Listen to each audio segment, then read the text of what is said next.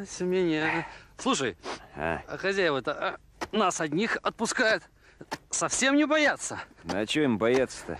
Так, что мы в лес убежим, к партизанам. Да где они, партизаны-то твои? Да везде. Но шуцманы облаву устраивают? Устраивают. Выстрелы слышал? Слышал. А хозяева про взорванный эшелон говорили. Ну, и как ты думаешь, чьих это рук дело? А ты что, в партизаны хочешь? Там бы я был бойцом, а не батраком. Когда наши придут, как за плен оправдаемся, а? То, что на Колоков и Шачель, это нам не зачтется.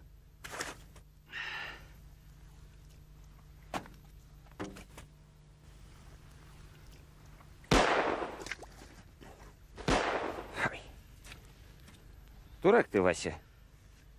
Фронт еще далеко. О, а у меня ничего.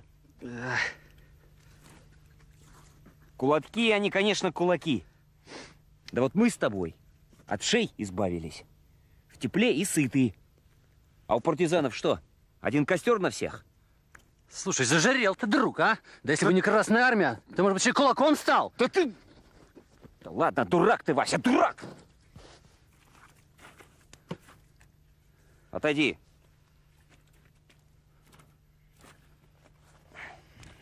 Давай лучше поглядим, что тут. Тоже мне. О, смотри-ка. Ну-ка, давай.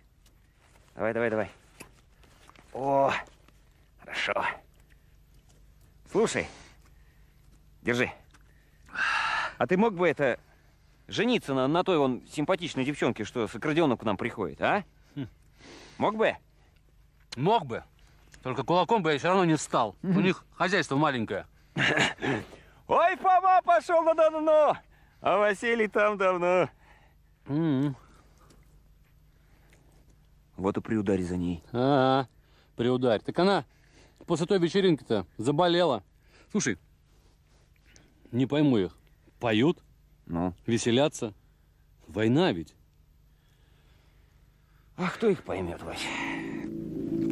Cudno. Nu, žēl. Nu, neko darīt. Tāda ir vācu komendatūras pavēle. Gūstekņi jāved prom. Kāpēc? Kas to zina?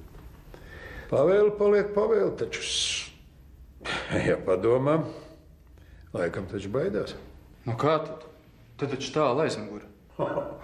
Kamēr frontiet uz priekšu, tikmēr tālu aizmuguri, bet kad nāk atpakaļ, tad ir jāsāk par savu drošību domāt.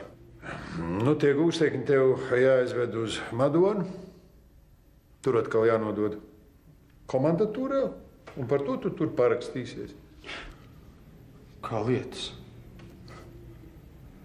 Tie taču cilvēki. Kārtīgi strādāja.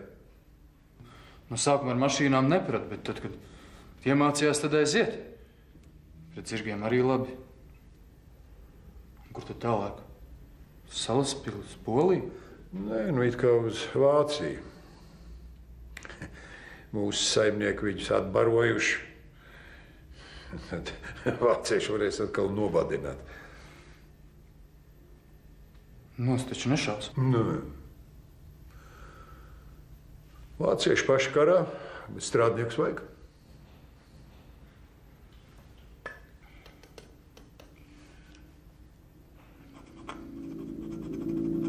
Cerēsim, ka nē.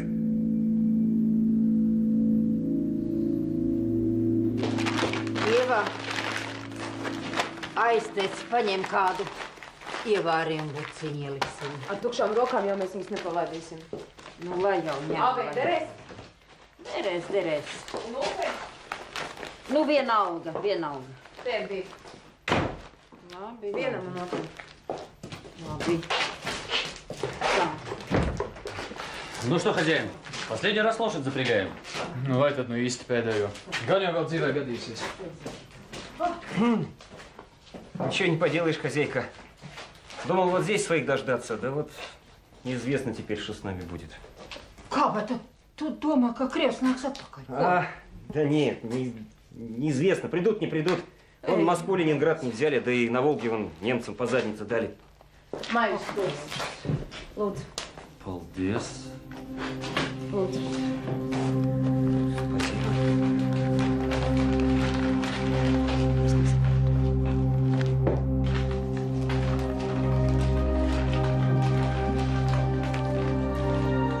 Tur ir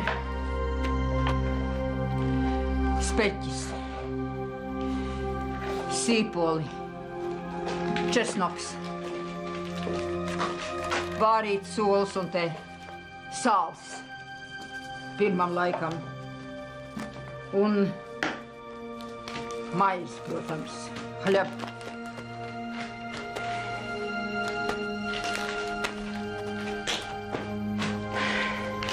Не, не ожидал. Не ожидал, хозяйка. Спасибо. Неизвестно, обращается ли там с другими военнопленными, как вы с нами. Неужели только латыши вот такие?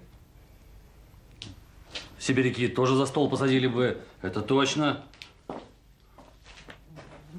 Прощайте. Прощайте.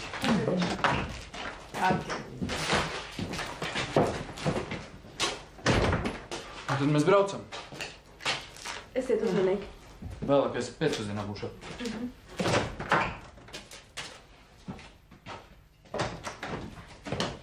Kas ir kaut kas? А Едвига? Jadvig? Jadvig ir tur.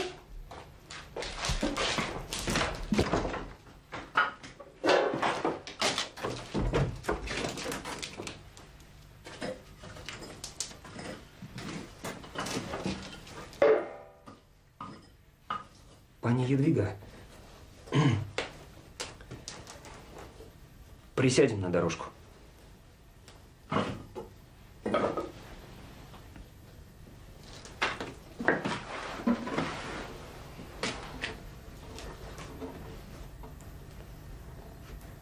Тебя увозят? Главное, подальше. В Польшу. Или в Германию. Может быть, может быть, вернешься? Дом. Не знаю, стоит или сгорел давно, ну, тянет туда. Ты уходишь. А кто еще? Василий. Ну пусть Василия уводят. Почему тебя? Коптит.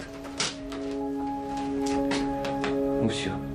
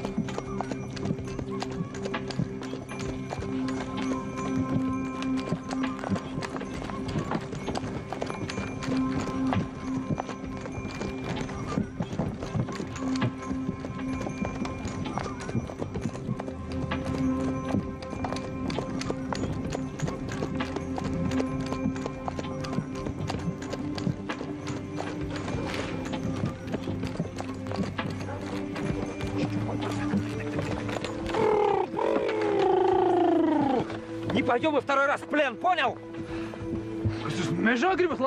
Сообразительный. Да, мы к большому болоту, где партизаны. Понял? Не хочешь лошадь потерять? Полезай!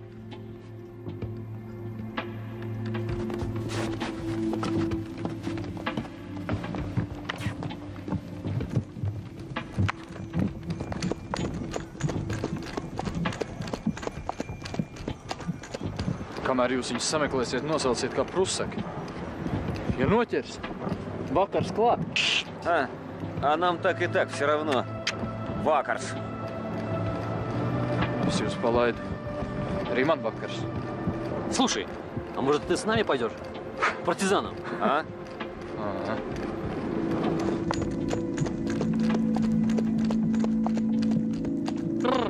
Esam pietiekami dziļi mežā. Un Kā pie tā aizbrauc mājās? Не-не-не-не-не. Ты умный, но мы тоже не дураки. Если мы тебя сейчас отпустим, ты сразу пойдешь доложишь, и нас тут же начнут искать. А ну-ка давай-ка, поворачивай вон туда, налево. Давай, давай, давай, давай. Когда наши вернутся, скажем, что ты нам помогал. Глядишь, тебя не раскулачат.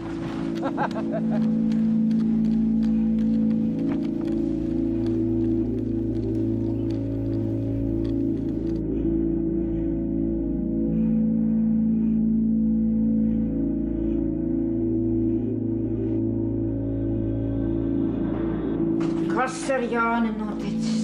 Uz grogā ir tāds. Ej, nu šagata. Labi zini, ka Jānis šņāpi pat mutē nemāk. Šeit ir piecas. Varbūt būs iegriezies pie mirgas. Es nezinu, nezinu. Uviet. Hm? Mamma saka, varbūt pie mirgas. Tas, tas nu gan nav iespējams. Varbūt Jānis tik ilgā ārā nebūtu zirgu turējis. Nu, jā, viņš tak prātīgs braucies, tak nelaime nebūs notikusi. Sen nav bijusi. Tie gūstekņi taču varēja viņu nomušīt un aizlaisties ar zirgu. Vai, vai, vai. Kādas mēs bijām muļķis vienu pašu viņu palaizdams. Nē, Famā nav tāds. Domā, Dieviņ, tēti! Kāds tu izskaties? Stāsti, kas noticis? var dabūt ko siltu? Jā, bet...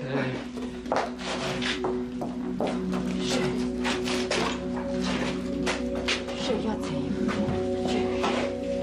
Nu, runā taču, kas notika? Viņa aizgāja mežā.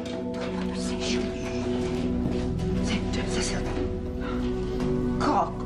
Kur? Mežā? Mēteli. Mēs labprātīgi apmainījāmies. Vai? Lika braukt uz lielo puru. Nezinu, kā izštukojuši, ka tur meža brāļi. Būs dzirdējuši, ka mēs esam kādreiz sarunājušies. Taču ne, tā pusē šāva nav taču bez ausīm. Un ko nu? Nu, mums būs nepatikšanas. Pagaid, pagaid. Tā. Var taču padomāt, ka mēs viņus esam mežā palaiduši. Un tagad ir viss pēc kara laiklikumiem. Sodi ir bargi. Tevi taču var saņemt ciet. Man par to nesatraucies. Es iebraucu pie pagasteča mājās. Nu, nu, ko tad liepā? Teica, ka muļķīgi sanācis. Ko citu?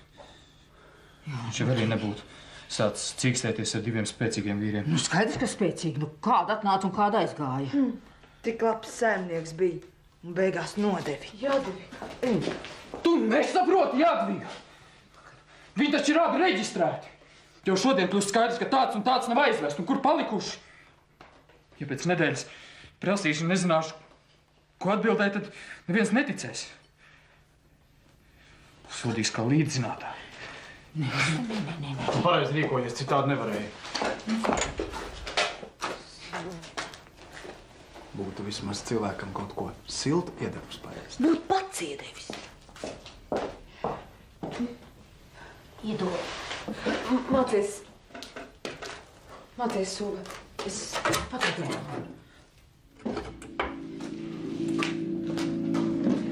Dakšiņ padod.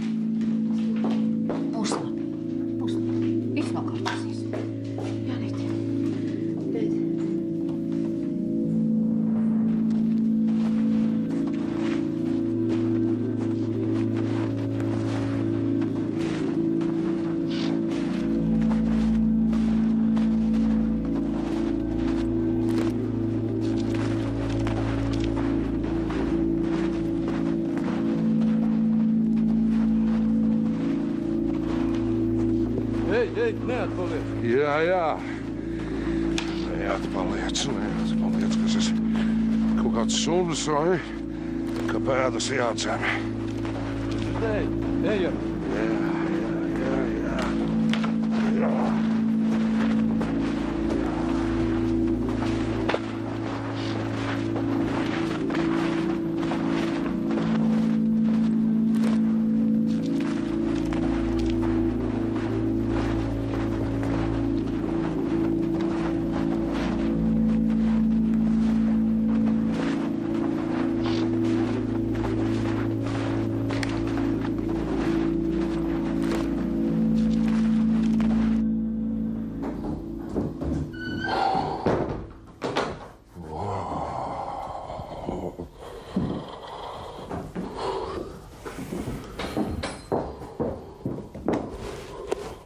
Ēdīsi Kas tev ir?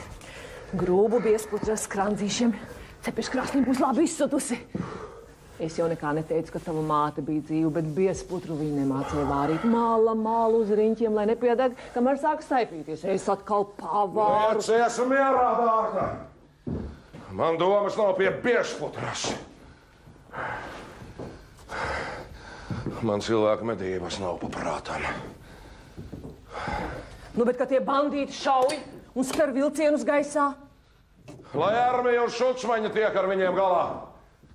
Ko viņi man ir vēl līdzi? Vai.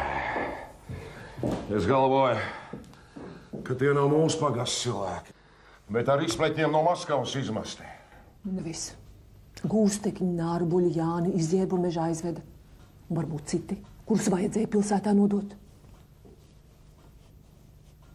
Par citiem nav ziņots. Bet ar tiem nārbuļu krieviem tā lieta vēl nav galā. Šodien jautāja, kas Jānis ir pa cilvēku. Vai viņa var uzticēties? Vai nav uz vienu roku ar tiem? Nu, bet tu taču Jāni slavēji. Ne? Bet gestāpo vīri bija ļoti aizdomīgi. Kaut viss izdotos labi. Nu, jā, bet ko Jānis varēja pret diviem? Nožmiegt tu tā kā cāli, katram savu dzīvību mīļa. Tad šodien nekā. Aizgājuši. Tagad lielais pursais salis. Var iziet, ja tikai taka zina. Pēdas vien atstājuši. Laikam kāds padevis ziņu, ka būs ķemmēšana. Nu, bet Jānis jau tas nevarēja būt. Nu, protams, ka nē. Es domāju, ka viens no tiem, kam krievi zem iedeva. Kurš tad? Nu, neatceros, vai es kādu piesputru māti vārēja, nu, bet tā vai nav nevainas. Vai dievi? Kas tie tādi? Ko? Nu, redz, un tā sauc uz paslavēšanu.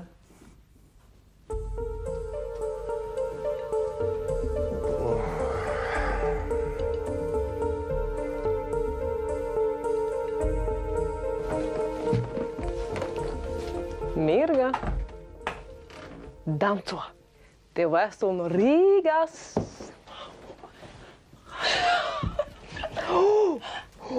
Mirga!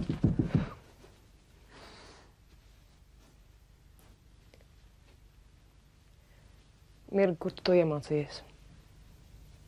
Nekur. Ienāca prātā un grozos. Nedara tā.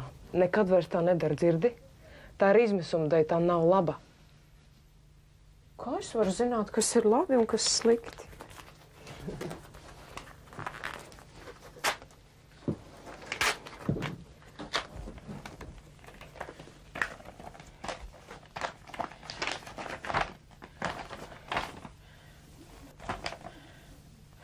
Nu, Edgars,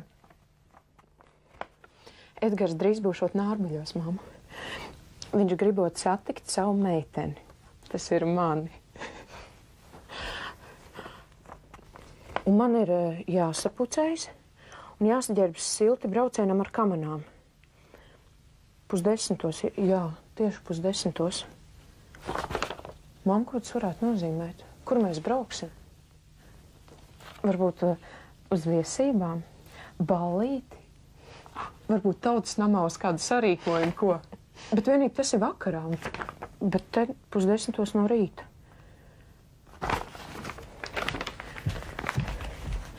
Kas šodien ir pa dienu?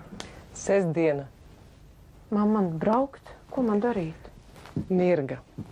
Ja es saņemtu tādu vēstuli, es braucu kaut uz Elli.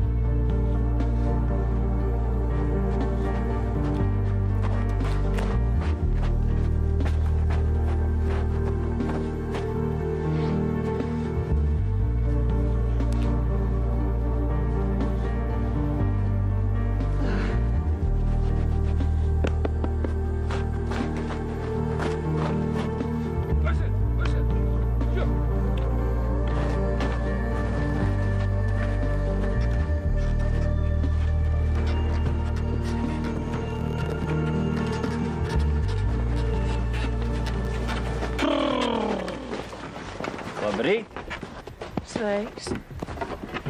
Kur mēs braucam? Nekur mēs nebraucam. Es tev vedu uz baznīcu. Virgu. Nebraukšu uz baznīcu. Brauks. Edgard! Edgard! Omar! Kā priekšā? Nu, nosauc. Nu, nu. Dod pēc šņabja. Bet draugs Bruno no Rīgas atbrauc. Un tad mēs tā drusku pie brokastīm glāzīšu nabīšu. o!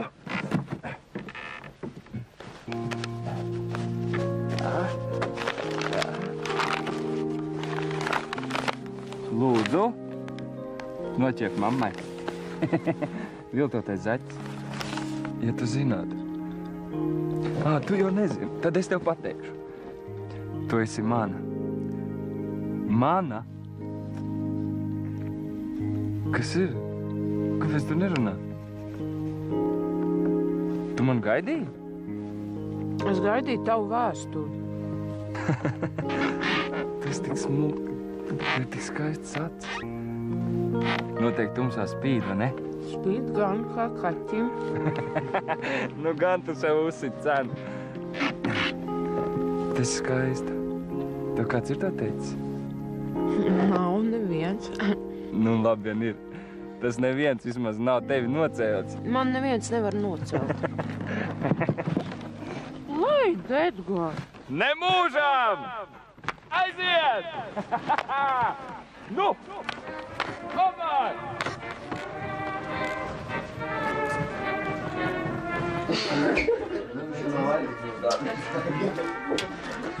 Viņam būs tā pieci.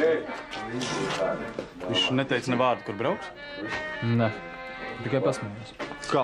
Tu neko? Es neko. Kārtējais Edgars gājiens.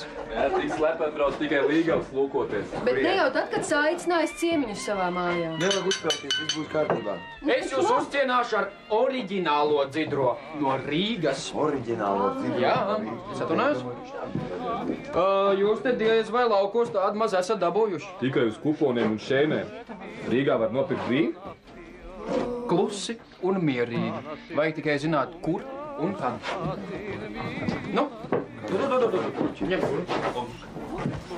Jā, vajadzētu atnest jau kādu. Kortis jau uzos? Jā. Kam? Tas aviocies ir. Nu, tas Edgar, mamma, varbūt es varu kaut ko palīdzēt. Nevajag, Melvī, nevajag. Kā tev ir sakāt? Nevajag. Nu, Meldrīd, meita, klausies. Nu, kā tad tavs tēls? Kur? Dāmans laikam trakot lielīgs. Jā, no sākuma, no sākuma plīsa vai pušu. Tagad mazliet Jā. jau. Bet uh, Pēterītam drīz jau gads paliks. Jā, Paklau, bet kā tad, kā tad tu varēji šodien atbraukt? Tu tā kā vēl barokam. Jā, nu, tikai rītos un vakaros. Šovakar vīra māte iedos pudelī. Ah, nu jā, nu jā, Pēters. To vārdu laikam Daumanta mamma izvēlējusies, atcerējusies savu brāli un manu dēlu. Mm, nē, mums, mēs nevienam negribējām padomus prasīt, paši izvēlējāmies.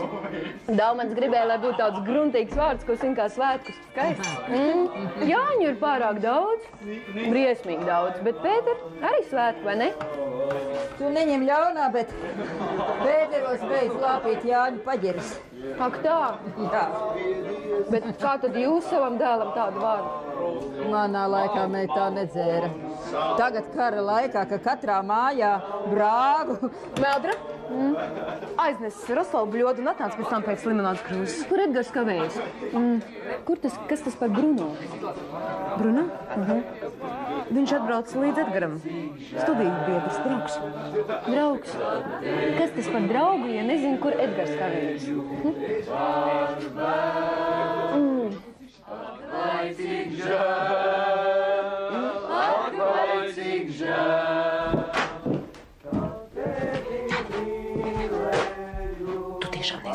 Edgars aizbrauc. Nezinu, oča. Tas nu ir par daudz. Viss šīs dienas, kopš viņš ir mājās, vai nu viņš ir projām, vai nu viņš ož pēc šņābi, tu pamanīji? Viņam, viņam līdzi ir koferīts, liekas, pilns ar pudelēm. Un vien priekš ballītes. Priekšballītis. Viņi jau dzer no rīta. Man liekas, ka viņš Rīgā ir kļuvis par pļēguru. Visi studenti dzer, tas taču vēl neko nenozīmē. Tu tā runā, it kā tu pats būtu augstskolai gājis cauri. Es taču lasu grāmatas. No tavas kapīšu. Nu, neuztraucies. Viņi te ir tikai dažas dienas, pēc tam viņa atkal aizbrauks prom. Tad tu atkal varēsi žēloties, ka te nav Edgara. Es nesaprotu. Vai cik žēl, vai cik žēl, ka tevi mīlēju par vēl. Ja īstu mīlestību grib, tad mīlē vienu vienīgo. Pārējo. Ja mīlestību grib, tad mīlē vienu vienīgo. Vai cik žēl, ak, vai cik žēl, ka tevi mīlēju par. Vai cik žēl, visu gaišu, visu gaišu. Tevi mīlēju par vēl. Aha. Kas tad tas ir? Nu, nu, nu, nu. Mans jau tukšs.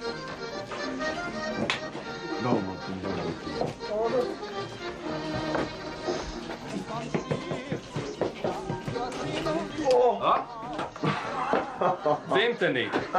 Mana tēva brūvējums. Iesēž. Tagad jau laikam laukos brūvēja katrs, kam nav slinku. Tā nu gluži viss nav. Tomēr jāuzmanās. Un zinu visvairāk, ja nav labi kaimiņi. Tu skaidrs? Nu, nu. Šūts man jau zina neskraidīs pa krūmiem, neostīs gaisu. Bet ja kaimiņš nodos. Nu, stāv veselības. Tūdaini. Jā, jā, jā. Nu. Nu, Nu? nu, nu. Tīrā neko?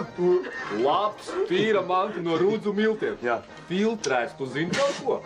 Nu, nu, nu, nu, nu, kā tu viņš var zināt, ar ko filtrēts? Filtrē caur vācu gāzmasku filtriem, un tad iznāk vienkārši uz FF. Caur Krievu nevar. Nav. Būs Krievu, pamēģināsim arī caur Krievu gāzmaskām. Nedrīkst būt. Kas tad? Krievu. Man tēva baigajā gadā nošāva un klases biedrus uz Sibīriju aizsūtīja. Man tante Lidija arī. Nu, viņa ir māsa manai mātei un Edgara un Ūvas tēvam. Un mēs esam brālēni. Un Lidija ar visu ģimeni, pat vīru tēvu no gultas paņēma. Nu tad par viņu atgriešanos. Jā.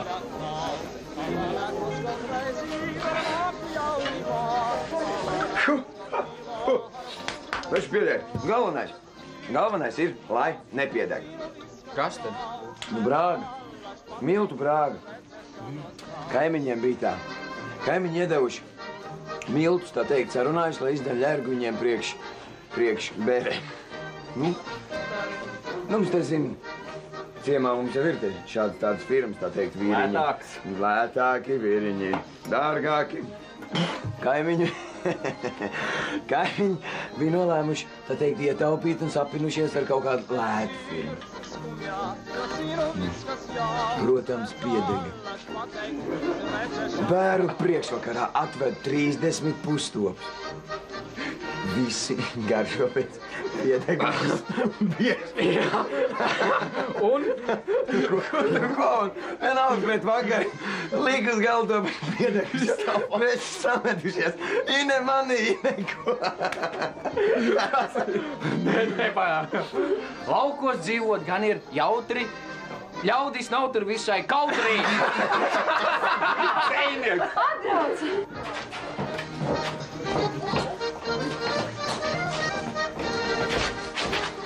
O, mūs sagaida ar mūziku!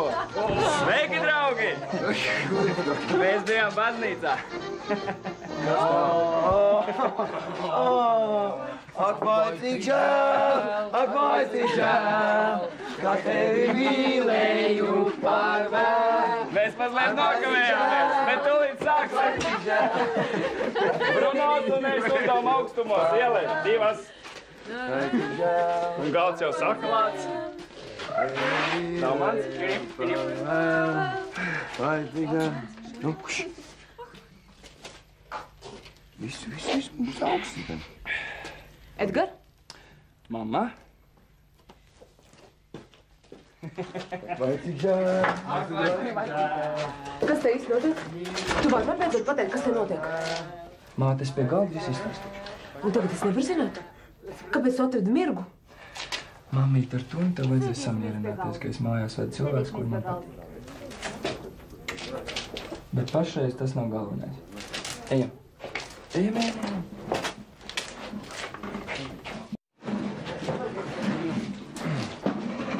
Es palūkšu maz uzmanību. Pirms daru jums zinām, ko esmu izlēmis. Gribēju no Dieva izlūgties svētību un žēlastību. Tāpēc mēs ar Mirgu arī bijām baznīcā un nedaudz nokavējāmies. Bruno. Sēd, māte.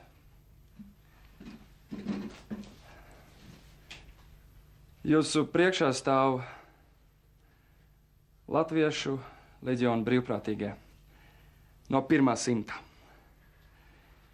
Tāpēc iedzersim par to, lai mēs no kara atnāktu dzīvi un ar uzvaru.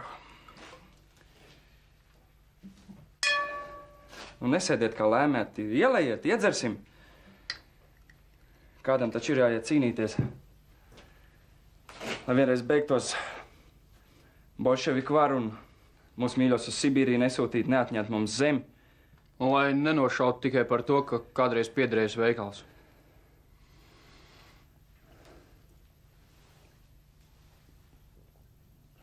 Pirmais pasaules karš paņēma manus dēlus, bet tiešām laiks maz dēliem.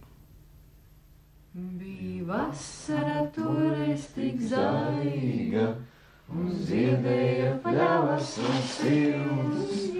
Tu pretī man nāci tik maiga. Piedodiet Edgaram, ka viņš jau vakar to nepateica. Viņš negribēja, ka jūs tik ilgi kreņķējaties. Viņš dara pareizi. Manai mātei nav vieglāk. Es esmu viņai vienīgais.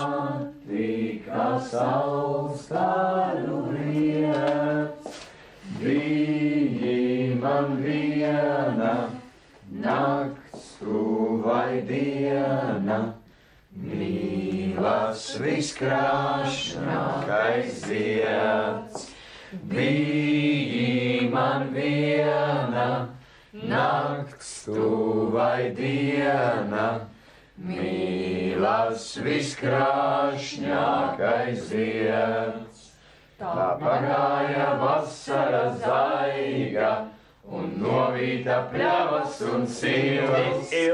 Vairs nenāca meitene maiga, kam galvā bija lakatiņš zils. Atmiņā lakatiņš zilais,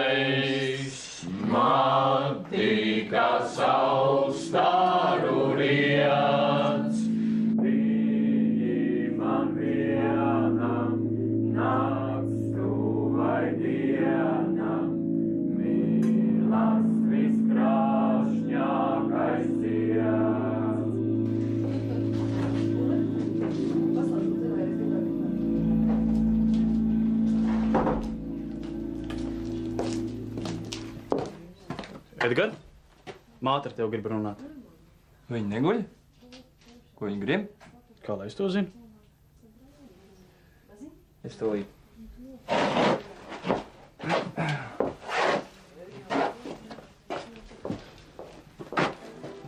Nebeidz. Aprunāsimies. Par ko? Bet tad tu neesi jau viss izrunājis?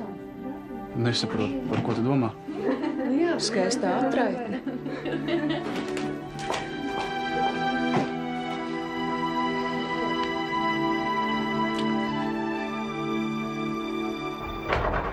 Edgar?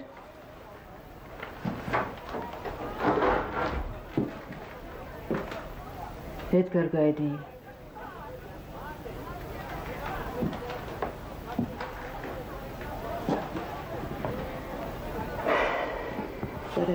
Māti parunāt kaut vārdu. Nebrauc uz izpriecām, bet uz karu. Tur visādi var gadīties. Bet tad neviena sirsnīga vārda nevajag tikai ļēru un ļēru. Vajag jau. Bet nu tevis jau laikam vairs ne.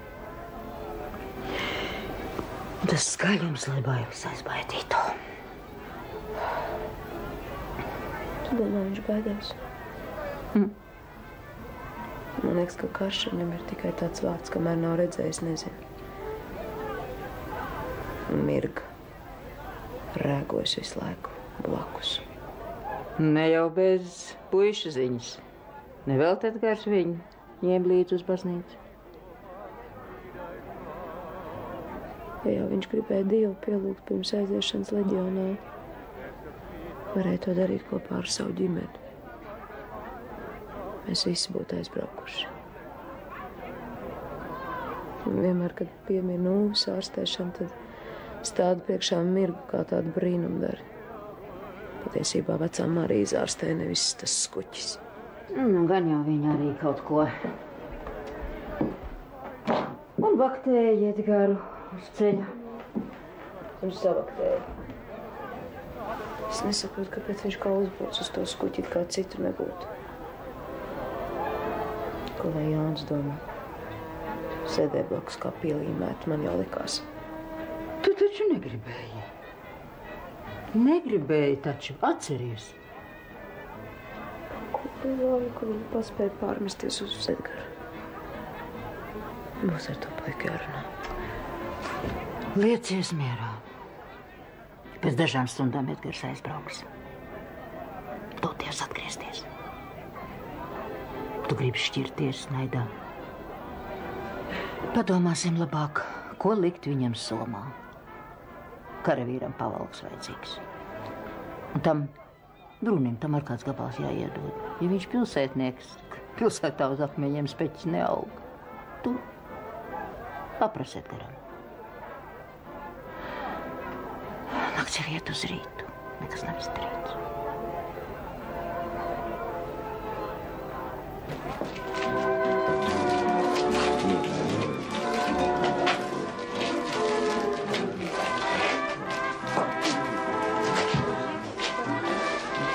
Kāpēc tu nesaki neko? Miedziņš nāk. Kāds miegs? Tu vispār iet jau uz rīta pusi. Neceri gulēt, es tev nelaidīšu. Šīs ir pēdējās stundas. Tev bail nav? Tu zini, ja būtu es, es neatzītos. Mīļā meitene. Par bailēm nemaz domāt nedrīkst. Turklāt mēs taču bijām baznīcā, palūdzām dieviņu, lai ar mani nekas nenotiktu. Tu domā, ka viņš piepilda mūsu vēlēšanos?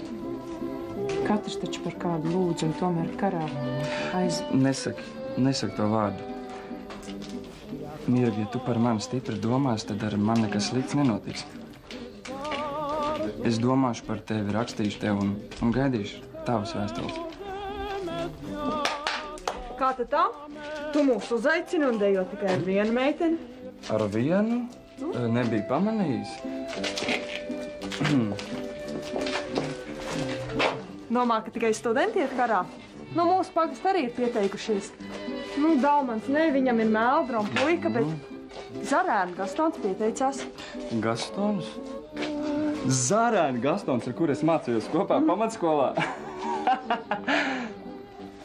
ah, viņš ir tā kā tavs... Uh, Un viņai tā kā tavā. Nu, kamēr baznīcā nav pieteikts, uzsaukts, un, nu, tikai tikmēr neko nevar droši zināt. Tad jau man vēl ir izredzes. Bet jūs tiešām bijat baznīcā? Dievu pilnu. Iedarit vai kociņ, tu man netici. Tu pats sev netici. Māma saka, ka baznīcā iet tikai pieklājības dēļ. Mm -hmm. Un jūs varbūt laulībām jau pieteicāties? Nē. Un tad tu mums liki tik ilgi gaidīt. Tikai tāpat vien. Nu, palauz, palauz savu smuko galviņu. Kad atbraukšu atvaļinājumā, paprasīšu, ko būs izdomājis. Jā, par tevi dienu un nakti vien domāšu. Par tevi cita domās. Es domāšu par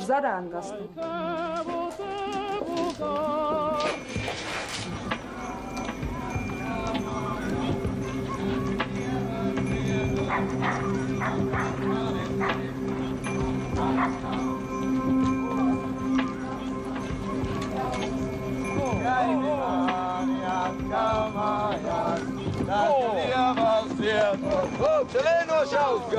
Não, não.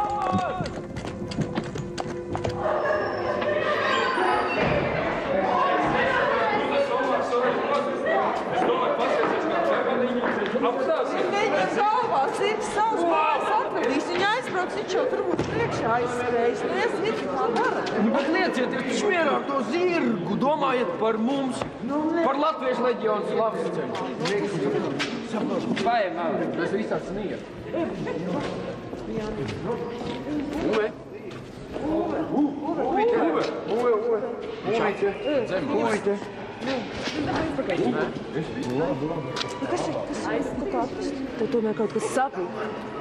Galvas tā? Kas ir? Nu runā taču, nu. Vajag viņu parādīt ārstam. Viss kārtībā, brauksim mājās. Aizbraukt pakaļ varbūt? Nē, uz slimnīcu. Es atnesīšu ūdeni. Mēs paši, mēs paši, mēs viss būs kārtībā. Piedod, brāļuk, man pašam laikam vajadzēja turēt grožus, tad nekas nenotika tāds. Saprotu, gribējās ar mieru ilgāk būt kopā. Viņa ir brīnišķīga meitene. Izturies labi pret viņu? Ja? Kaut arī manis dēļ. Nu, jau mamma to jau zina.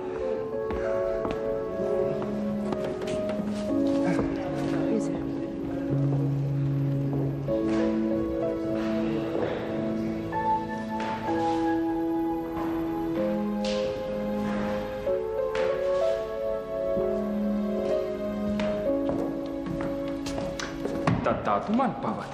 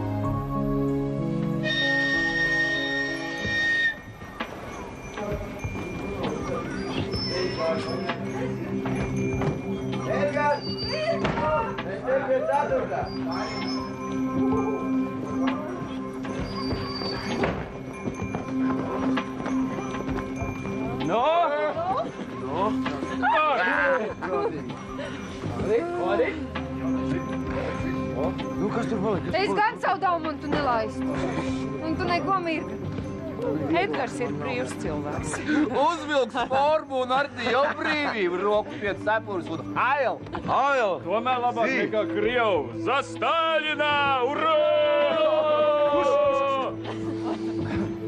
Pie Kremļa pilsvārstiem stāv Kirkensteins bārs. Tam rokās ir lūgums pēc maizes un sāls.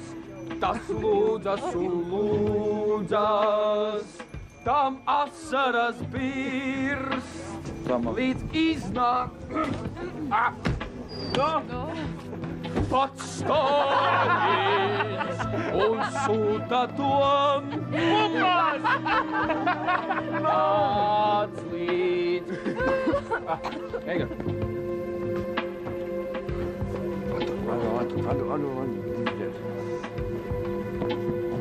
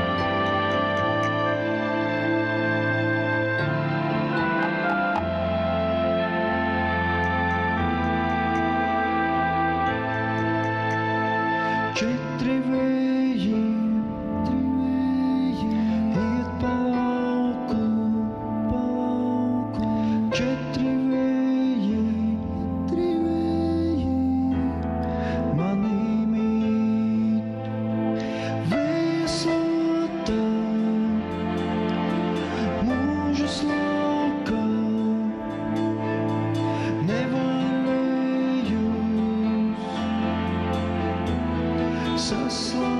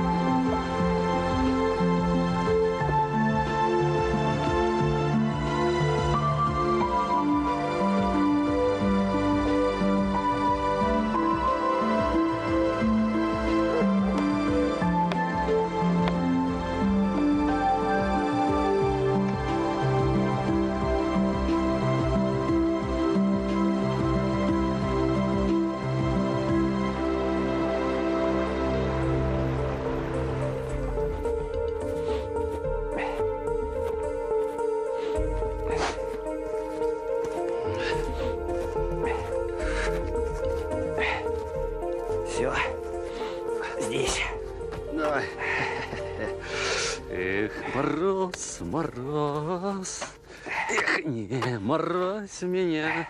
Слушай, а хозяева-то а, нас одних отпускают.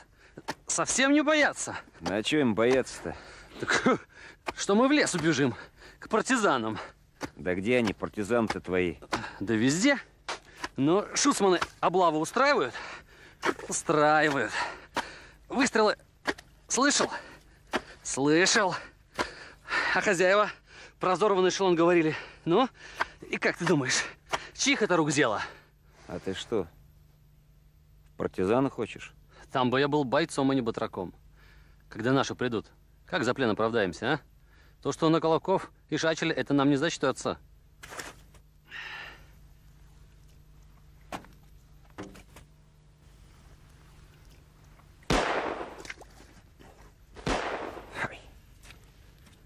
Дурак ты, Вася.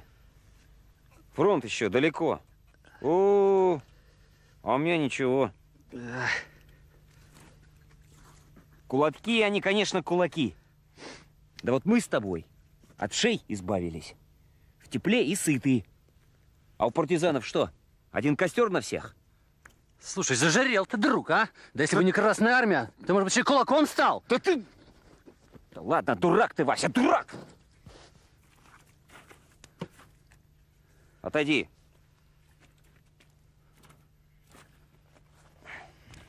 Давай лучше поглядим, что тут. Тоже мне. О, смотри-ка. Ну-ка, давай. Давай, давай, давай. О, хорошо. Слушай, держи.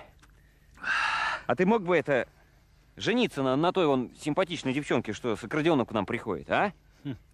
Мог бы? Мог бы. Только кулаком бы я все равно не стал. У них хозяйство маленькое. Ой, Фома пошел на давно, а Василий там давно. Вот и приударь за ней. Ага, приударь. Так она после той вечеринки-то заболела. Слушай, не пойму их. Поют? Ну? Веселятся? Война ведь. А кто их поймет, Вась? cudno. Žēl. Nu, neko darīt. Tāda ir vācu komentatūras pavēle. Gūstekņā ved prom. Kāpēc? Kas to zina? Pavēle paliek pavēle, taču, ja padomā, laikam taču baidās. Nu kā tad? Tad taču tālu aizmuguri. Kamēr frontiet uz priekšu, tikmēr tālu aizmuguri, bet kad nāk atpakaļ, tad ir jāsāk par savu drošību domāt. Nu, tie gūstekņi tev jāizved uz Madonu. Tur atkal jānodod komandatūrā, un par to tu tur parakstīsies. Kā lietas? Tie taču cilvēki. Kārtīgi strādāja. No sākuma ar mašīnām neprat, bet tad, kad iemācījās, tad aiziet. Pret zirgiem arī labi. Kur tad tālāk? Salaspils, Polija? Nē, nu it kā uz Vāciju. Mūsu saimnieki viņus atbarojuši. Tad vācieši varēs atkal nobadināt. Nos taču nešaus. Nē. Vācieši paši karā, bet strādnieks vajag.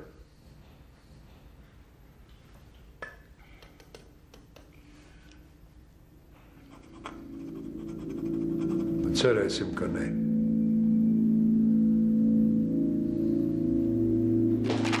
Ieva,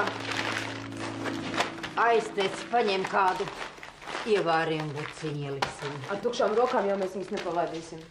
Nu, lai jau ņem. Abi derēs? Derēs, derēs. Nu, Nu, vienalga, vienalga. Te bija. Labi, Vienam un otram. Labi. Ну что, хозяин, последний раз лошадь запрягаем. Tad nu īsti pēdējo? Gan jau vēl dzīvē gadīsies. Ничего не поделаешь, хозяйка. Думал вот здесь своих дождаться, да вот неизвестно теперь, что с нами будет. Tu, tu domā, ka Krievs nāks atpakaļ? А, да нет, не- неизвестно. Придут, не придут. Вон. Москву, Ленинград не взяли, да и на Волге вон немцам по заднице дали. Kurs. Lūdzu, Paldies. Lūdzu.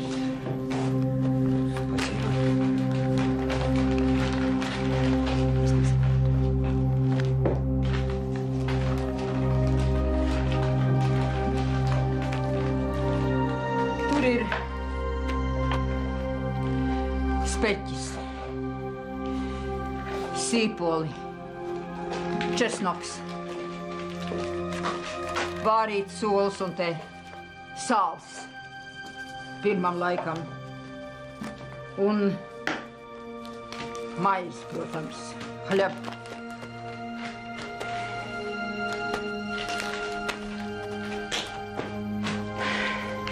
Не, не ожидал. Не ожидал, хозяйка. Спасибо. Неизвестно, обращается ли там с другими военноплянами, как вы с нами. Неужели только латыши вот такие? Сибиряки тоже за стол посадили бы, это точно. Прощайте. Прощайте.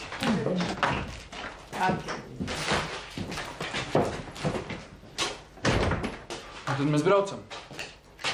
Esiet uzmanīgi. Vēlāk pēc pēcpusdienā būšu. Kas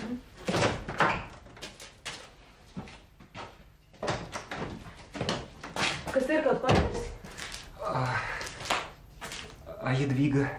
Ядвиг? Ядвиг, Артур?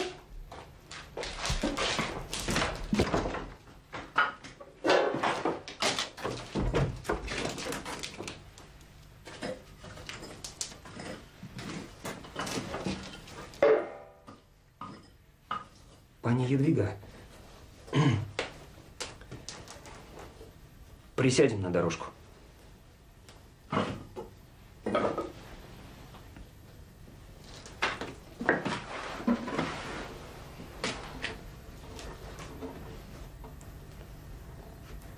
Тебя увозят? Главное, подальше. В Польшу. Или в Германию. Может быть, может быть, вернешься? Дом. Не знаю, стоит или сгорел давно. Ну, тянет туда. Ты уходишь. А кто еще? Василий. Ну пусть Василия уводит. Почему тебя? Коптит. Ну все.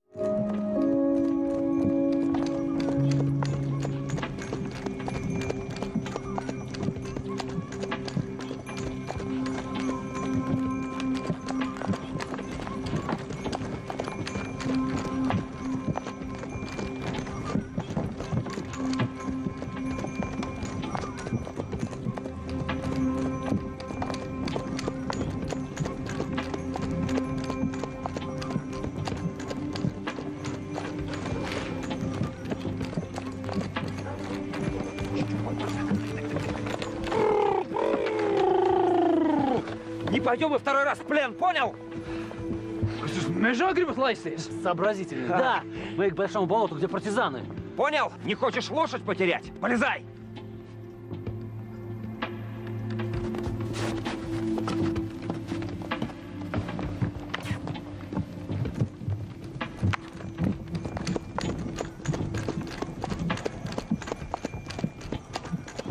Kamēr jūs viņus sameklēsiet, nosauciet kā prusaki. Ja noķers, vakars klāt. А, а нам так и так все равно. Вакарс. Es jūs palaidu. Arī man vakars. Слушай, а может ты с нами пойдешь? Партизаном. А?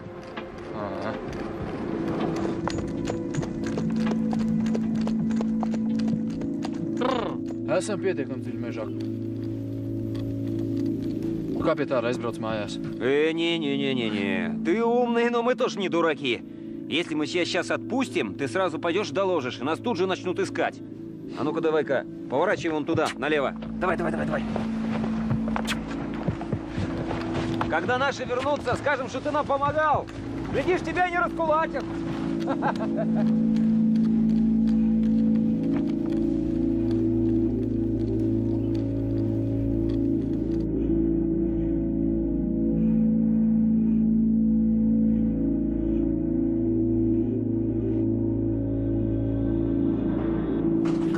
Jāni noticis? Uz krogā ir rāds. Ej, nu žagata. Labi zini, ka Jānis šņāpi pat mutē nemā.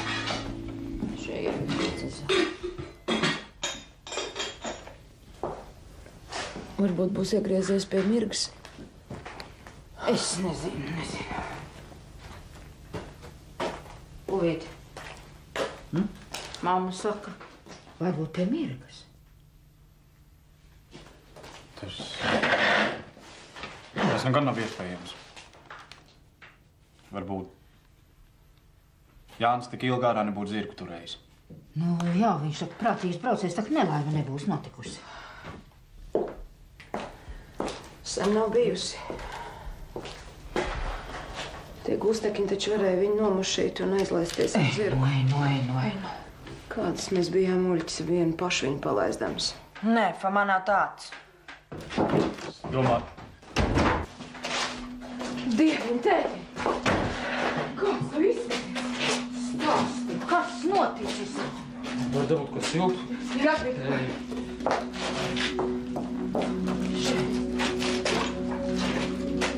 Šeit jāceļ. Nu, runā taču, kas notiek? Viņa aizgāja mežā.